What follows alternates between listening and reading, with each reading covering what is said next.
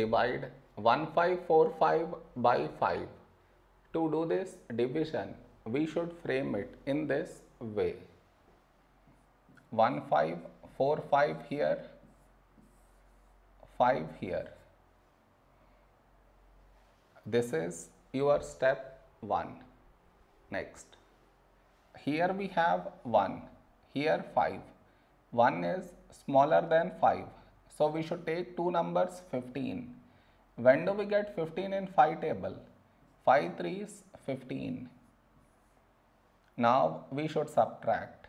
We get 0. After this, bring down the beside number. So 4 down. Now here we have 4, here 5. 4 is smaller than 5. So we should bring down the second number. And the rule to bring down second number is put 0 here. Then only we can bring down this number. So 45. When do we get 45? In 5 table. 5 nines 45. Now we subtract. We get 0. No more numbers to bring it down. So we stop here. This is our remainder. This is our quotient.